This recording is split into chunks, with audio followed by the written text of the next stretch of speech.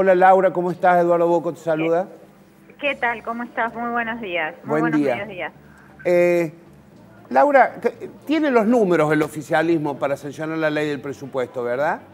Sí, estamos ahora por votar, por eso ingreso en breve nuevamente los dos tercios necesarios para tratar el presupuesto, toda vez que como se emitió recién ayer el despacho, no pasó la semana de rigor de para esperar para el plenario, hay que aprobar su tratamiento con dos tercios de los miembros presentes. Y tienen, Pero interpreto sí.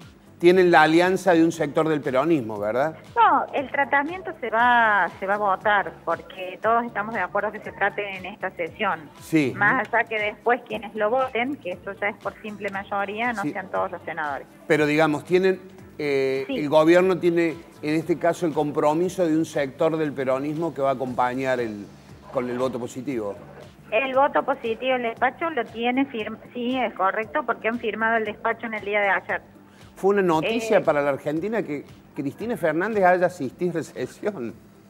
Sí, eh, acaba de plantear una cuestión de privilegio. Al inicio pidió la palabra y esta cuestión de privilegio, que en realidad fue porque interpreta que el fallo del juez Bonadillo no corresponde o afectaría eh, de alguna manera, bueno, lo explicó detenidamente, no quiero hacerme eco de sus palabras para no equivocarme en ningún concepto, pero pasó a la Comisión de Asuntos Constitucionales donde será dilucidado. Bien, eh, senadora, ¿qué tal? ¿Cómo le va? Joel Albarrán la saluda. De lo que surgió en la reunión de comisión y del dictamen, eh, en general hay un gran consenso, más allá de que esté el número para aprobarlo al presupuesto.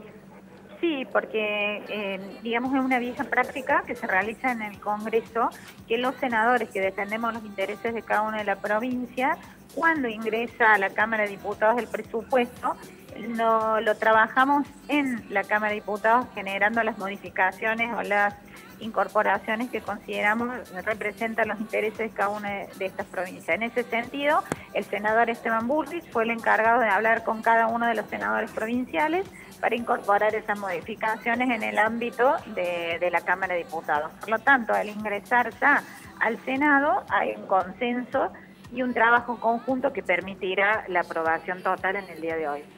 Bien, Laura, ¿qué tal? Buenos días. Carolina Bierman te saluda. ¿Tiene mm, novedades sobre eh, sesiones extraordinarias que se realicen en los meses de verano para tratar alguna ley en puntual?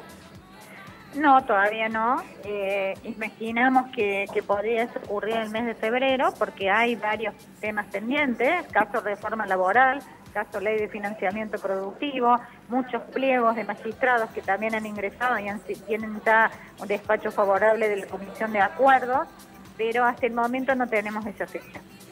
Bien. Muy bien, Laura, te agradecemos mucho la participación, has sido muy gentil en retirarte un segundo. No, la- por nada, voy a ingresar para ver si podemos lograr la, la votación de los dos tercios. Dale, muchas gracias, buen mediodía, hasta luego.